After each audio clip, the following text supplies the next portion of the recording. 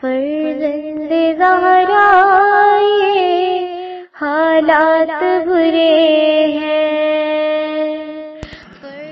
काशाना बसीरत, एक ऐसा मुकम्मल यूट्यूब चैनल जिस पर महरूम बसारत के लिए, बिलखसूस और तमाम अफराद के लिए बिलमूम सैकड़ों की तादाद में इस्लामी कुतुब दस्तियाब हैं।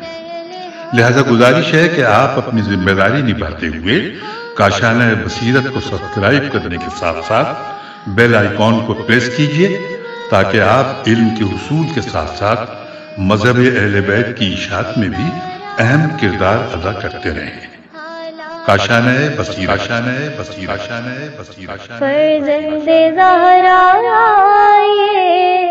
हालात बुरे हैं। बिसमीम अल्लाम सामीन। काशान बसीरत का यूट्यूब चैनल मैं सीमी जवार। हम मिलकर पढ़ रहे हैं किताब कलाम अमीरमिन अली सलाम, शरह नजुलबलागा तालीफ़ आयतुल्ला नासर मकारम शिराजी, तर्जुमा ज़र निगरानी मौलाना सैयद शहनशाह हुसैन नकवी। और ये है वॉल्यूम फ़ाइव जो हम मिलकर पढ़ रहे हैं। और रीडिंग का है ये पार्ट नंबर थर्टी थ्री। किताब के सफ़ा नंबर फोर फोर्टी सिक्स से रीडिंग का आगाज़ करेंगे, जबकि जिन लोगों ने मेरे साथ पिछली नशस्त में इस किताब को पढ़ा है, उनको मालूम है कि हम खुतबा 140 की हमने तफसीलात पढ़ ली थी, शरा और तफसीर भी पढ़ ली थी। अब चंद नुकात पढ़ने रह गए थे तो हमने इस नशस्त में पढ़ने के लिए, पिछली नशस्त से आपको खुदा हाफिज का था, आइए चंद नुकात पढ़ते हैं। लिखा है कि इसमें चंद नुकात जो दिए हुए हैं टोटल छः दिए हुए हैं। मैं देख लेती हूँ टोटल और मज़ीद कितने जी छः नुकात दिए गए हैं। आइए पढ़ते हैं। सबसे पहले नंबर पे लिखा है। नंबर वन सबसे पहले गीबत के इसबाब का पता लगाना ज़रूरी है इसलिए कि इसबाब की कबाहत से नतज की कबाहत का पता लगाया जा सकता है। गीबत के अहम इसबाब में से हसद खुद गर्जी गुरूर तकबर बोग्स हुब दुनिया रियाकारी इंतकाम जुई और दूसरों का मज़ाक उड़ाना और, और इन जैसे बहुत से दूसरे अमूर हैं। हैं। जिन लोगों ने ये उमूर जिन लोगों में ये उमूर पाए जाते हैं, उनकी ये कोशिश होती है कि गीबत के ज़रिए इन उमूर की तशनगी को बुझाएँ और इस बात को मुलाहजा करते हुए कि ये मस्कूरा सारे इसबाब गुनाहान कबीरा में से हैं। गीबत की बुराई और कबाहत का पता चलाया जा सकता है। दूसरा नुक्ता, किसी भी माशरे का हम तरीन सरमाया जो अफराद को वहाँ मुतहद रखता है और बुलंद बाला मकासद के असूल की राह पर गामजन होने में उनका मुआविन साबित होता है, बाहमी अतमाद है और गीबत का सबसे पहला नहस नतीजा इस कीमती सरमाए का रुखसत हो जाना है, क्योंकि हर किसी में कोई ना कोई ऐब पाया जाता है। अगर वो ऐब पोशीदा रहे तो उससे किसी को नुकसान पहुँच, इस, उस तो उससे किसी को नुकसान नहीं पहुँचेगा। और लोगों के दरमियान हुसन जन और अतमाद की फ़िज़ा कायम रहेगी। लेकिन ऐब जुई, गिबत और मलामत के ज़रिए उन ऐबों को बरमला करना माशरे को बदगुमानी की झुलसा देने वाली दोजख में तब्दील कर दिया, कर देता है। फिर सभी एक दूसरे से बदगुमान और मुतनफ़र हो जाते हैं और गिबत के नतीजे में माशरे का शिराजा बिखर जाता है। वालफाज दीगर जिस तरह अम्बाल का लूटना और बा, और बेगुनाहों का खून बहाना अमन अमान को तहोबाला कर देता है। गिबत के ज़रिए लोगों की इज़्ज़त व आबरू को पामाल करना भी अमन अमान के लिए ख़तरा है, क्योंकि जैसा कि आ हजूर सल्लल्लाहु अलैहि वसल्लम की गुज्त रिवायत में हमने पढ़ा, लोगों की इज़्ज़त पर हमला करना, उनकी जान और माल पर हमला करने के मुतरदफ है। गिबत कभी मख्फी नहीं रह सकती और मुतासर अफर्द को पता चल ही जाता है। फिर उसके नतीजे में उसके दिलों में कीने की आग भड़क उठती है। ऐसे कीने जो बसाओकात खूरेजी और दूसरी बड़ी मुश्किल का सबब बन सकते हैं। गीबत बुराइयों को आम करने के इसबाब में से एक सबब है और बदगुमानी के वजूद में आने में इसका अहम किरदार है। इसके अलावा गीबत से गुनागारों को शह मिलती है, इसलिए कि जब तक गुनाह पोशीदा है, गुनाह करने वाला फ़र्द एहतियात का दामन हाथ से छूटने नहीं देता, लेकिन जब पर्दे हट जाते हैं और गुनाह सामने आ जाता है तो शर्म हया भी रुखसत हो जाती है। तीसरी, तीसरा नुक्ता पढ़ते हैं। लिखा है कि गीबत का ताल्लुक हुकूकुल इबाद से है। गीबत के सिलसिले में एक अहम मसला ये है कि सिर्फ़ ये इंसान और उसके परवरदिगार के दरमियान सरजद होने वाला ऐसा गुनाह नहीं है जो महज निदामत के चंद आँसू बहा देने से धुल जाए, बल्कि जिस तरह बेगुनाह का खून बहाने या उसके अमवाल को लूटने का गुनाह खसास या दियत और माली खसारे का जबरान के बगैर काबिल माफ़ी नहीं है। यहाँ पे जबरा जे जीम बे रे अलिफ नून। के बगैर काबिल माफ़ी नहीं है। इसी तरह किसी की इज़्ज़त और आबरू को बर्बाद करना भी तलाफ़ी के बगैर नाकबिल माफ़ी गुना है। मखसूस अगर गीबत से मुतासर शख्स दुनिया से चला गया हो और गीबत करने वाले की उस तक रसाई ना हो और मामला क़्यामत तक लटक जाए, यानी तलाफ़ी की कोई राह नहीं है, सिवाय इसके कि उसकी नेकियाँ मुतासरा शख्स के हिसाब में दर्ज कर दी जाएँ या फिर मुतासरा शख्स के गुनाह अपने ज़िम्मे ले ले और ये सबसे बड़ी मुसीबत है। चौथा यहाँ पर नुक्ता है कि गीबत के इलाज का बेहतरीन तरीक़ा वही है जो मौला अमीरमिन अलीसम ने गुज्त कलाम में बयान फरमाया कि इंसान उस हकीकत को सामने रखे कि जिस ऐब को वो दूसरे से मंसूब कर रहा है। अगर वो ऐब उसमें नहीं पाया जाता है तो खुदा का शुक्र करे, ये शुक्र उसे दूसरों की ऐब जोई से रोके रखेगा। और अगर वो उस जैसे गुनाह का मरतकब हुआ है तो मुनासिब नहीं है कि अपने ऐप को नज़रअंदाज करके दूसरों के पीछे पड़ जाए और इसमें कोई छोटा गुना सरसद हुआ हो तो इस तरह सोचे कि शायद उसके बड़े गुनाह बख्श दिए गए होंगे और मेरा छोटा सा गुनाह नहीं बख्शा गया हो, बल्कि दूसरों की ऐब जोई की ज़रूरत करना, उसके अपने गुनाह से खवा ख्वा छोटा हो या बड़ा कहीं ज़्यादा बड़ा गुना है। इसके अलावा जिस तरह जिस्मानी बीमारी में जब तक कि उस बीमारी की जड़ें ख़त्म ना हो जाएँ, मुकम्मल इलाज नहीं हो पाएगा। गीबत जैसी बीमारी में भी उसकी जड़ों का खोज लगाया जाए और उन्हें उखाड़ फेंक कर दिल से गीबत की ख्वाहिश को ख़त्म कर दिया जाए। पांचवा नुक्ता है कि गीबत का सुनना भी गुनाहों में से एक है। ब्रैकेट में लिखा है कि बाद वाले खुतबे में इसकी तफसील बयान की जाएगी। ब्रैकेट क्लोज हो गया।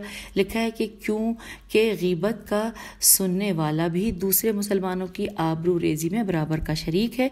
खसूस अगर वो दिलचस्पी के साथ गीबत को सुन रहा हो तो उससे गीबत करने वाले को मज़ीद शय मिलती है।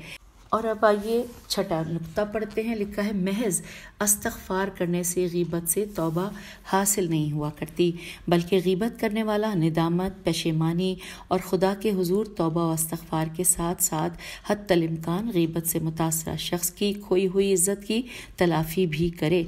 अगर मुमकिन हो तो राजदाराना अंदाज में मुतासर शख्स से माफ़ी तलब करे और अगर ऐसा करना किसी फसाद का बायस बनता हो तो या मुतासर शख्स अब दुनिया में नहीं रहा हो तो उस शख्स के हक में इस कदर ने एक काम अंजाम दे कि उसकी रूह राज़ी हो जाए।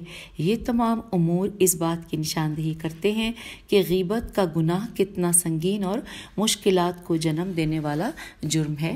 गीबत से मरबूत मसाइल की मज़ीद वजाहत मन जुमला उसके मुस्तनियात मीम सीन ते से नून ये अलिफ ते मुस्तनियात के लिए किताब अखलाक दर कुरान सफ़ा number a hundred and seven से लेके हंड्रेड एंड थर्टी थ्री तक की जानब रुजू कीजिए। सामीन, यहाँ पर खुतबा वन फोर्टी हमने मुकम्मल कर लिया, उसके जो नुकात रह गए थे, इस नशस्त में हमने मुकम्मल किया और अब हम पेज फोर फोर्टी नाइन पर खुतबा वन फोर्टी वन पढ़ने जा रहे हैं।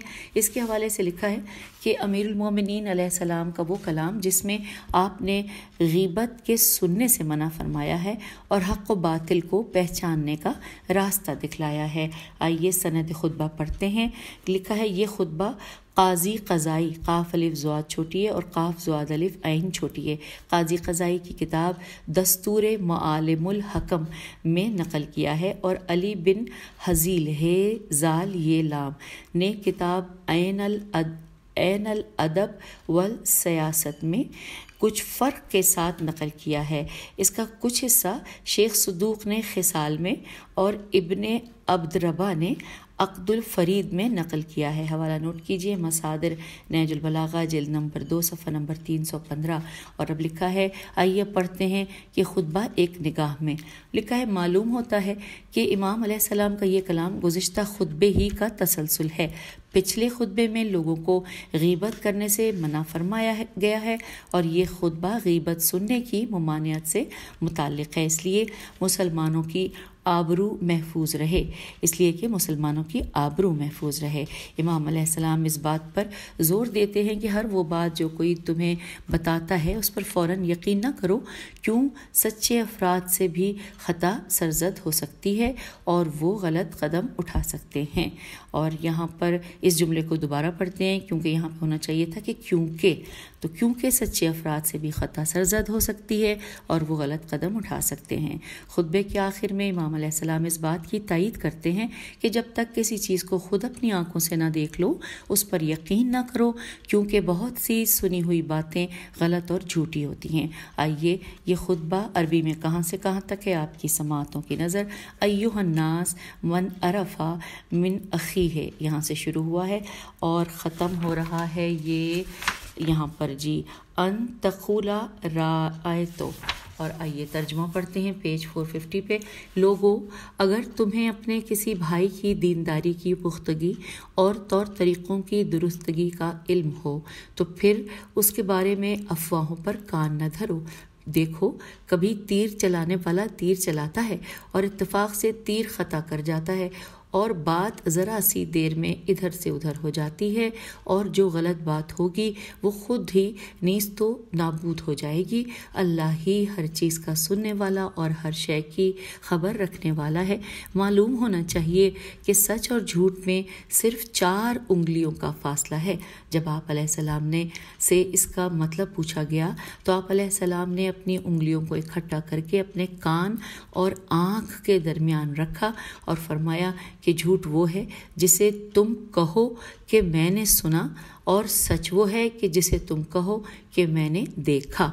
यहाँ पर इन्वर्टेड कॉमा क्लोज हो गया और अब हम पढ़ने जा रहे हैं शरा तफसीर हेडिंग है, हक व बातिल के दरमियान चार उंगलियों का फासला।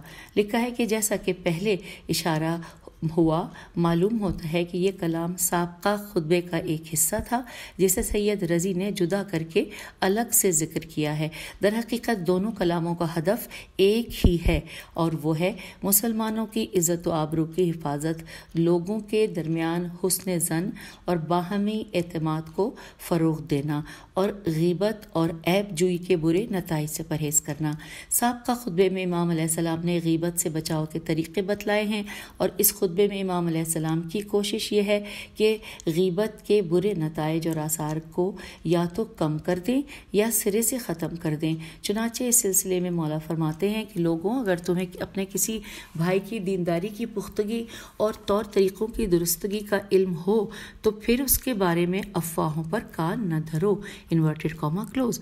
दर हकीकत इमाम सलाम खुतबे के इस मुख्तर से हिस्से में मुख्तलिफ़ तरीक़ों से गीबत करने, सुनने वाले के अंदर उसके बुरे असरात को नाकारा और मफलूज करना चाहते हैं। और इसका पहला तरीक़ा वही है कि जो गुज्त इबारत में बयान हुआ, इसलिए कि जब इंसान किसी फ़र्द को उसके, उसकी सबका खूबियों और तकवा इलाही के बावसफ़ के बावसफ़ जानता हो तो मुमकिन मुतमिन रहे कि अगर उस फ़र्द के बारे में कोई नारवा बात कही जा रही है तो वो बात दुरुस्त नहीं। इसलिए कि हमेशा मशकूक मामले को यकीनी अमूर पर महमूल किया जाता है। अलबत्त इस बात का मतलब हरगिज़ ये नहीं है कि जिन अफराद की सबका खूबियों का हमें इल्म ना हो उनसे मुतक़ गीबत और ऐब जुई को कबूल करें और उनसे मुतक़ अफवाहों को हकीकत पर मबनी समझ लें। बल्कि इस बात का मकसद सबका नेक सीरत के हामिल अफराद के सिलसिले में ताकीद करना है कि इन सबका नेक सीरत के हामिल अफराद के सिलसिले में बदगोई करने वालों और कीने पर ज़ोर पर कीना परवर अफराद की बातों की हरगिज़ तस्दीक नहीं करनी चाहिए। उसके बाद इमाम सलाम एक दूसरे नुक्ते की तरफ़ इशारा फरमाते हैं कि बिलफर्ज बात करने वाला सच्चा भी हो, तब भी यकीनी तौर पर मासूम तो नहीं है। इससे झूठ सरजद हो सकता है और मासूमिन सलाम के अलावा हर शख्स ख़ता का पुतला है और यही अमर बायस बनता है कि इंसान दूसरों की नस्बत कही गई नारवा बातों को बसानी कबूल ना करे।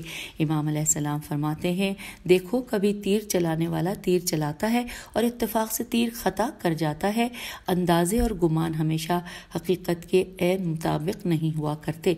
इन्वर्टेड कॉमा क्लोज इसके अलावा मौला फरमा रहे हैं कि बात ज़रा सी देर में इधर से उधर हो जाती है और जो गलत बात होगी वो खुद ही नीस तो नाबूद हो जाएगी। अल्लाह हर चीज़ का सुनने वाला और हर शय की खबर रखने वाला है। इन्वर्टेड कॉमा क्लोज हम पेज 452 पर आ गए हैं। लिखा इमाम सलाम का ये फरमान इस तरफ़ इशारा है कि लोगों की अक्सरियत सच बोलने की पाबंद नहीं होती है। जो कुछ उनकी ज़बान पर आ जाए, कह डालते हैं। इस बिना पर वो जिस ऐब और गुनाह को दूसरों से मंसूब करें, उसे वाकईत नहीं समझना चाहिए, क्योंकि मुमकिन है कि ये उन झूठी और बेबुनियाद बातों पर मबनी हो, जो बग़ैर तहकीक और बग़ैर तोले लोगों के मुतालिक कही गई हो। बिलखसूस ये कि हम जानते हैं कि खुदा हर जगह हाजिर व नाजिर है और जो कुछ हम कहते हैं, आमाल के इंदराज पर मामूर फरिश्ते उसे महफूज कर लेते हैं। कलाम के आखिर में इमाम एक और अहम नुक्ते की तरफ़ रुख करते हैं। मौला फरमाते हैं कि मालूम होना चाहिए कि सच और झूठ में चार उंगलियों से ज़्यादा फासला नहीं है। Inverted comma close.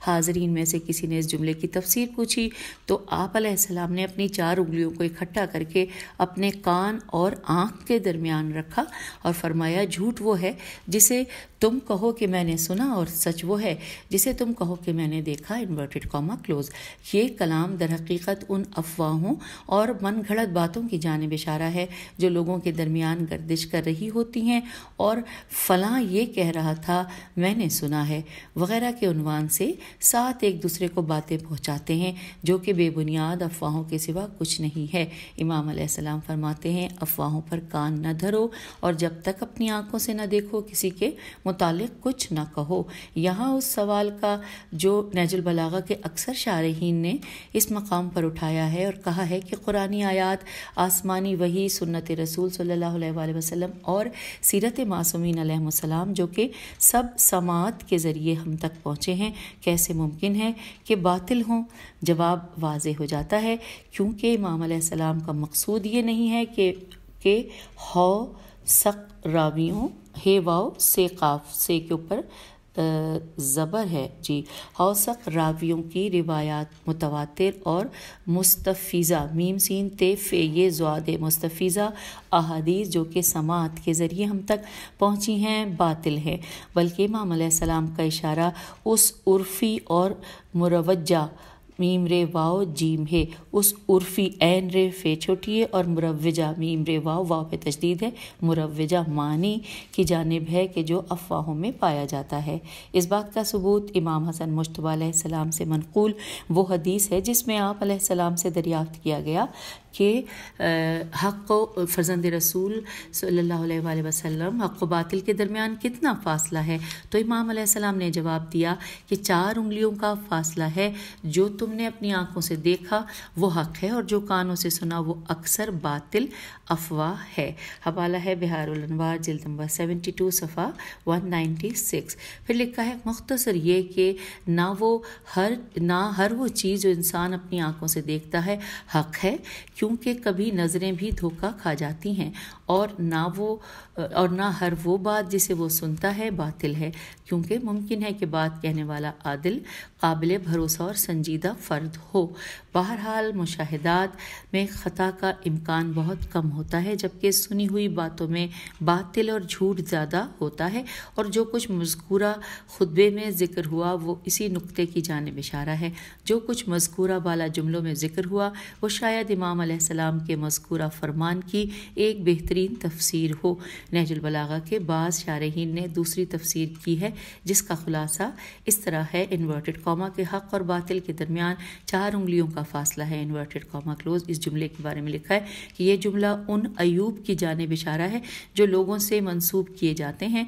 उनमें से बहुत से अयूब बदगुमानी तहकीक के, के फुकदान हसद कीना परवरी वगैरह की पैदावार हैं। इस बिना पर इन बातों के दरमियान झूठ और बातिल के बोहतान की बोहतात होती है। बे है तेलिफ ते।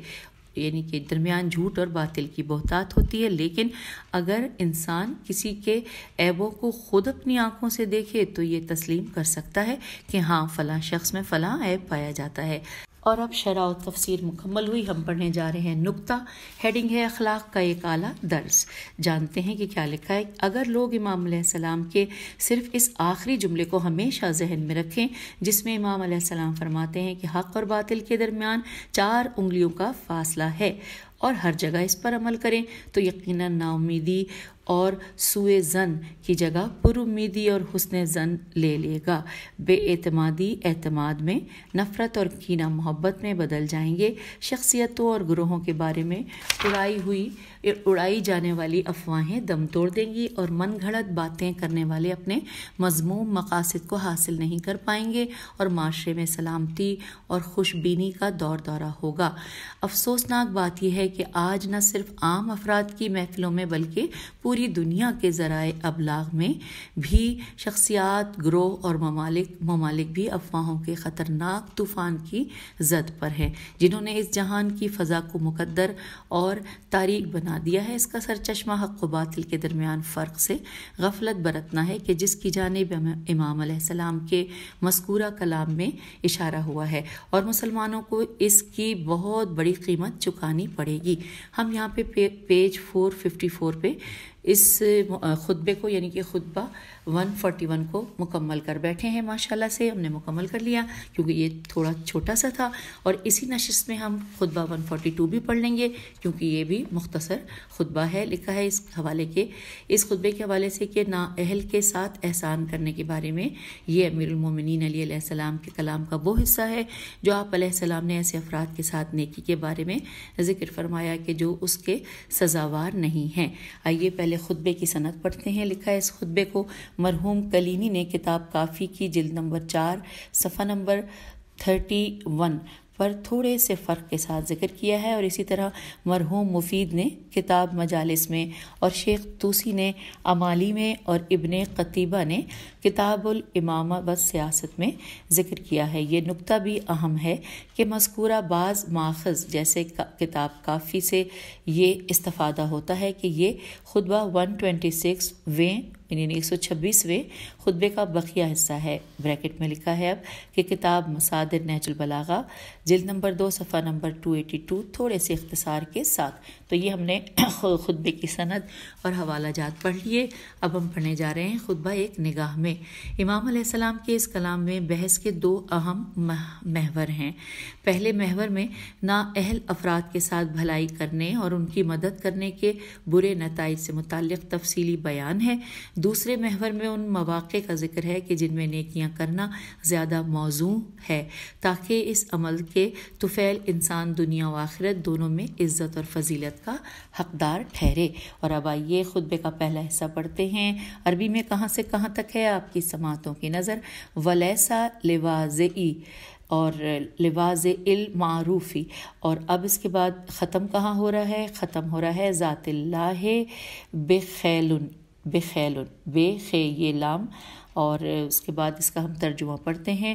गैर मुस्तक के साथ एहसान करने वाले और ना अहल के साथ नेकी करने वाले के हिस्से में कमीने लोगों की तारीफ़ और जाहिलों की मधा सना ही आती है और जब तक देता दिलाता रहता है, जाहिल कहते रहते हैं कि इसका हाथ किस कदर सखी है। हालाँकि अल्लाह के मामले में यही शख्स बुखील भी होता है। Inverted comma close. आइए शरा तफसीर पढ़ते हैं। हेडिंग है इसमें बरमहल नेकी। लिखा लिखा है कि जैसा कि पहले बयान हुआ कि ये कलाम बाज़ मोतबर रिवायात के मुताबिक खुतबा वन का एक हिस्सा है, जब कुछ सादा लॉ और ला इल्म दोस्त आप सलाम पर नुकता चीनी कर रहे थे।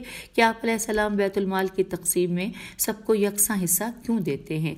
आप सलाम दस्ते सखा क्यों नहीं खोलते? और कौम के सरदारों को मखसूस इनायात और अता से क्यों नहीं नवाजते ताकि वो आप सलाम की तारीफ़ करें और आपके जूदो करम के कसीदे पढ़ें और आड़े वक्त में आप सलाम की हिमायत पर कमर बस्ता हो जाएँ।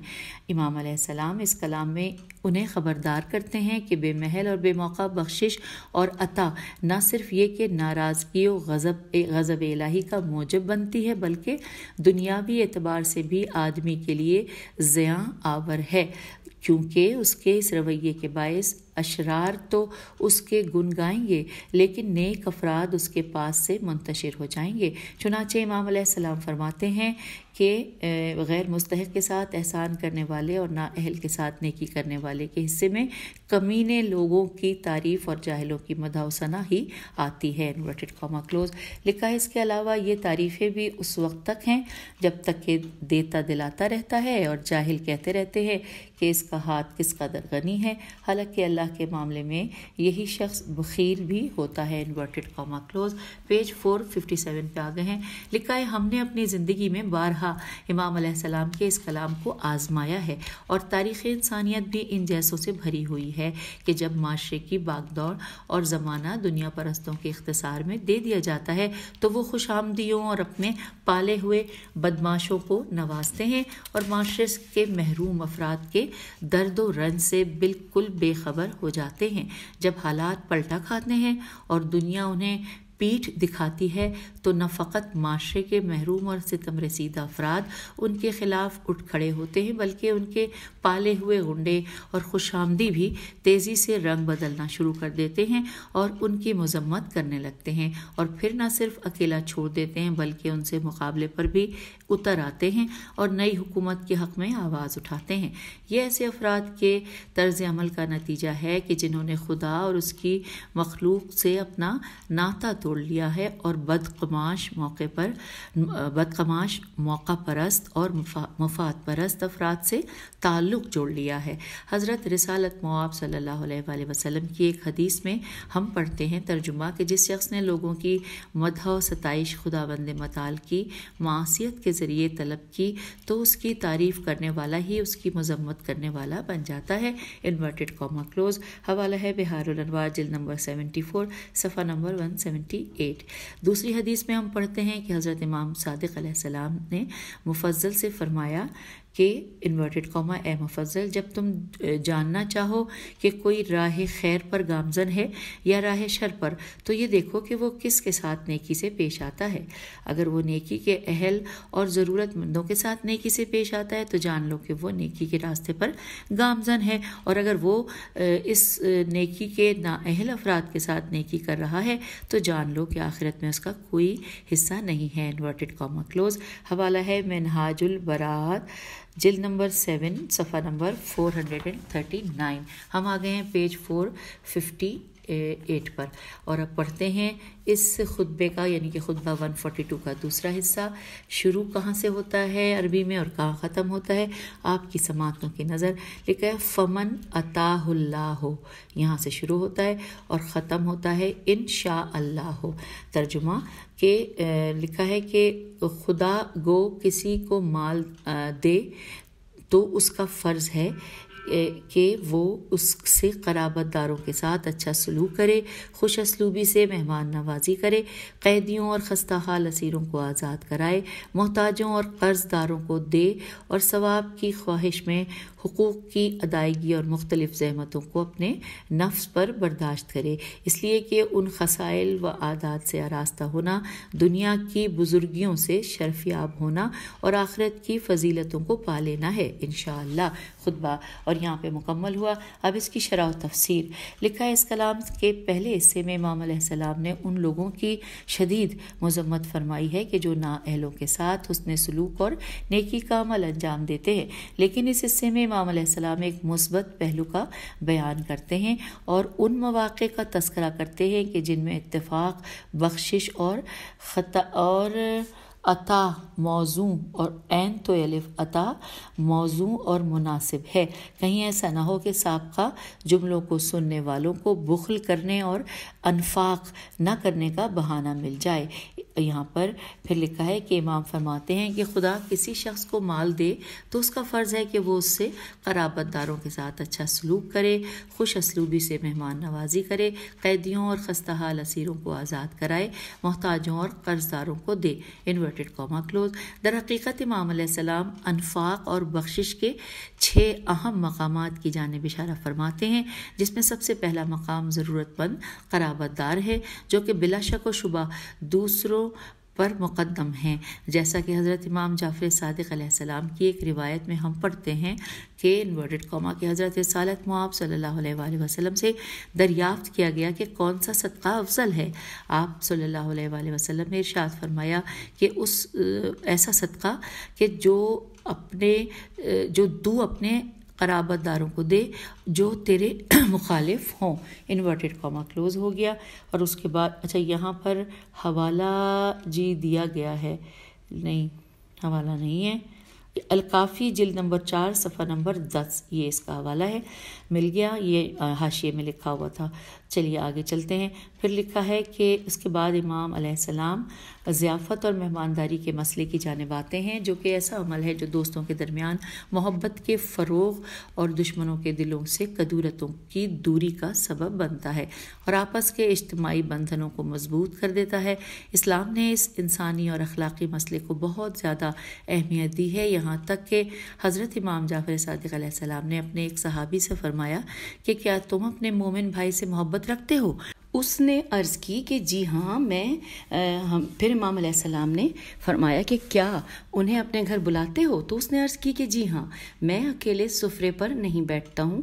हमेशा दो या तीन या कम या ज़्यादा दोस्तों के साथ गज़ा तनावल करता हूँ। इमाम सलाम ने फरमाया कि तुम पर उनकी बख्शिश और अता तुम्हारी उन पर बख्शिश से ज़्यादा है। इन्वर्टेड कॉमा क्लोज रावी को ताजुब होता है और अर्ज़ करता है कि, मौला, मैं आप पर कुर्बान जाऊँ, मैं उन्हें अपने घर दावत देता हूँ और उन्हें ताम पेश करता हूँ। उसके बावजूद उनकी अता मुझ पर ज़्यादा है। तो मौला फरमाते हैं कि, वो जब तेरे घर आते हैं तो तेरे लिए और तेरे अहलोयाल के लिए अपने हमराह मगफरत लेकर आते हैं। और जब तेरे घर से निकलते हैं तो तेरे और तेरे अहलोयाल के गुनाहों को ले जाते हैं। इन्वर्टेड कॉमा क्लोज हवा हवाला है अलकाफ़ी जिल्द दो, सफ़ा नंबर 201 और हदीस नंबर आठ। हम किताब के सफ़ा 460 पर आ गए हैं और उसके बाद लिखा है यहाँ पे कि और चूँकि बसा वाजिब और मस्तहब हकूक़ की अदायगी और नुकसान का इजाला इंसानी नफ्स पर गरा पड़ता है इमाम सलाम सब्र तहमुल की तलकिन और ताकीद करते हुए फरमाते हैं, इन्वर्टेड कौमा के ज़रूरी है कि सवाब की ख्वाहिश में हकूक़ की अदायगी और मुख्तलिफ़ जहमतों को अपने नफ्स पर बर्दाश्त करे। Inverted comma close. इमाम सलाम के इस फरमान की बिना पर हकूक़ की ताबीर और वाजिब और मुस्तहब दोनों का अहाता करती है। अब यहाँ पे वर्ड लिखा है कि नवाइब नाइबत की जमा है, जो कि दर्दनाक हवादिस के माने में है और यहाँ इन तमाम उमूर की जानब इशारा है जिनमें माली नुकसान पाया जाता है। ख्वाह किसी ालिम के जुल्म और सितम, सितमगर हाकिमों के सबब हो या गैर मुतव हवादिस की वजह से हो, जो ज़िंदगी में इंसान को दामनगीर होते हैं। और फिर अगला वर्ड है कि इब्तगा अलसवाब इब्तगाल असवाब से मुराद हिजे कर देती हूँ, अलिफ बे, ते, गैन, अलिफ अलिफ, लाम, से बे और से के ऊपर तशदीद है तो इब्तगास सवाब। से मुराद ये है कि इंसान का अनफाक व बख्शिश करना और मस्कूरा मसारफ, मीम स्वादलिफ रेफ़े, मसारफ में माल खर्च करना महज खुदा के लिए होता है और वो उसके अजर सवाब का मुस्तक है। ब अल्फाज दीगर हर किस्म का माली अनफाक कसद क़ुरबत के साथ होना चाहिए। कलाम के अख्ताम पर इमाम इस अमल के बेशबहा आसार और नतज को बयान करते हुए फरमाते हैं इन्वर्टेड कौमा के इन खसाइलों, आदात से आरास्ता होना, दुनिया की बुजुर्गियों से शरफयाब होना और आखिरत की फजीलतों को पा लेना। इन इन्वर्टेड कॉमा क्लोज यकीनी तौर पर दर्ज बाला छः मौाक़े पर बख्शिश अता करना दुनिया में माशरे के अंदर इंसान की इज़्ज़त और नेक नामी का भी बायस बनता है और ये अमल उकबा में इंसान की सरफराजी और सुर्ख रुई के अहम इसबाब में से एक सबब है। फिर लिखा है वर्ड है कि मन ज़्यादा सादा, जो कि बख्शिश अता करता है। और ये जो वर्ड है, मंजाद सादा, इसमें हवाला दिया है कशफुलगमा जिल्द नंबर दो, सफ़ा नंबर टू फोर्टी टू लिखा है कि जो बख्शिश अता करता है, वो बुज़ुर्ग सरदार बन जाता है। और यहाँ पे इन्वर्टेड कॉमा क्लोज हुआ, जो कि हवाला दिया था कशफुलगमा का। तो लिखा है कि ये वाला जो जुम, का जो जुमला है, जो कि हज़रत अबा अब्दुल्ला अल हुसैन सलाम से मनकूल है, और जो कि ज़रबुल मिसल बन गया है है। ये भी इस बात पर गवाह है और इसी तरह उनके वालिद बुजुर्गवार हज़रत अली सलाम का फरमान है कि जिस किसी के साथ चाहो भलाई करो, तुम उसके अमीर हाकिम बन जाओगे।